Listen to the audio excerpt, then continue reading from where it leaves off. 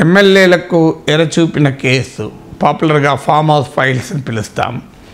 ఈ కేసులో తెలంగాణ రాష్ట్ర ప్రభుత్వం విచారణ కోసం ఎస్ఐటిని స్పెషల్ ఇన్వెస్టిగేషన్ టీంని ఏర్పాటు చేసింది.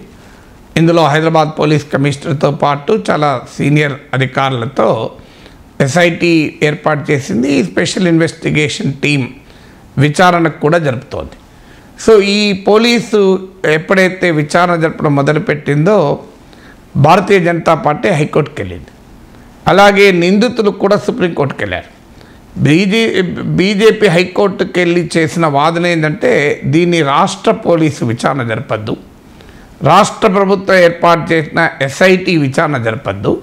దీన్ని సిబిఐకి ఇవ్వండి అని బీజేపీ హైకోర్టుకి వెళ్ళింది బీజేపీ వాదన ఏంటి అంటే ఈ మొత్తం ఎపిసోడు భారతీయ జనతా పార్టీని బదనాం చేయడానికి బీజేపీని బ్లేమ్ చేయడానికి ఈ ఎపిసోడు రాష్ట్ర ప్రభుత్వము కావాలని చేసింది. అందువల్ల రాష్ట్ర పోలీస్ ఇన్వెస్టిగేట్ చేస్తే మాకు న్యాయం జరగదు. బీజేపీని రాజకీయంగా అప్రతిష్ట పాలు చేసేందుకు చేశారు కనుక సిబిఐకి ఇవ్వమని పిటిషనర్ బీజేపీ పిటిషన్ వేసింది హైకోర్టులో.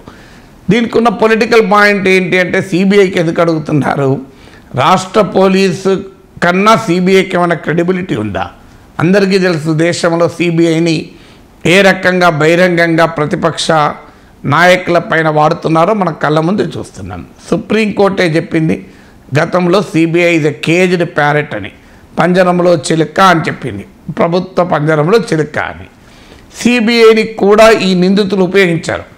మా మీరు కనుక పార్టీ మారితే మిమ్మల్ని సిబిఐ ఏం చేయదు ఈడీ ఏం చేయదు అని కూడా చెప్పారు.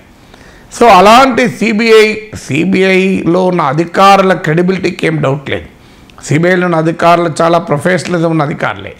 కానీ దాన్ని రాజకీయపరమైన గ్రహణం పట్టించడం వల్ల సిబిఐకి క్రెడిబిలిటీ లేదు.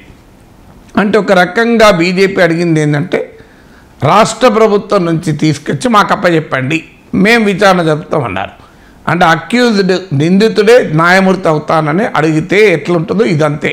నిందితుడు కనుక కోర్టులో సార్ తీర్పు నేనే చెప్తా సార్ మీరు కాదంటే ఎట్లుంటుంది? సో సిబిఐ ఆరోపణ కేంద్ర ప్రభుత్వానికి నాయకత్వం వహిస్తున్న నెంబర్ వన్ నెంబర్ టూ బీజేపీకి నాయకత్వం వహిస్తున్న నెంబర్ వన్ నెంబర్ టూ పైన. సో వాళ్ళ ఆధ్వర్యంలో సిబిఐ ఉంటుంది. మీరు మాకే విచారణ చెప్పండి అంటే మీరు ఏం చేస్తారు? ఆటోమేటిక్గా క్లీన్ చిట్ ఇచ్చేసుకుంటారు కదా.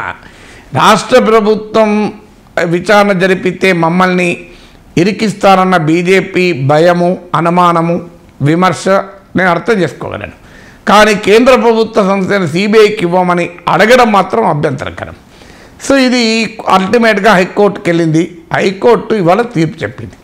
హైకోర్టు స్పష్టంగా చెప్పింది ఏంటంటే సిబిఐకి దీన్ని ఇచ్చేది లేదు. రాష్ట్ర ప్రభుత్వం ఎస్ ఏర్పాటు చేసిన ఎస్ఐటీనే విచారణ జరుపుతుంది.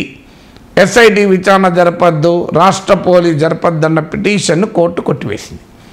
అలా అదే సమయంలో దీన్ని మానిటర్ హైకోర్టు జడ్జి ఈ ప్రోబ్ను ఈ విచారణ మానిటర్ చేస్తారు.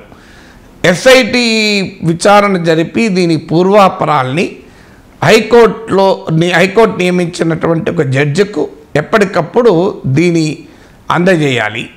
మూడవది ఈ విచారణ వివరాలు మీడియాకు కానీ రాజకీయ నాయకులకు కానీ తెలపద్దు అని హైకోర్టు చాలా రీజనబుల్ తీర్పు చెప్పింది.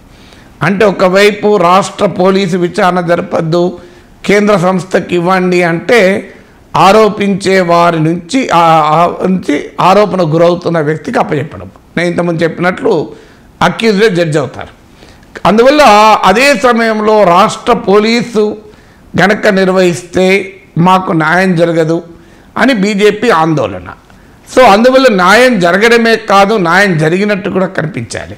జస్టిస్ జ- జరగడమే కాదు జస్టిస్ కనిపించినట్టు కూడా కనిపించాలి. జస్టిస్ జరిగినట్టు. అందువల్ల ఇన్వెస్టిగేషన్కు క్రెడిబిలిటీని తేవాలి అంటే హైకోర్టు మానిటర్డ్ ప్రోబ్గా ఉండాలి. అదే విష అదే తీర్పులో ఇప్పుడు మీకు హైకోర్టు ఇచ్చిన తీర్పులో అది కనబడుతుంది.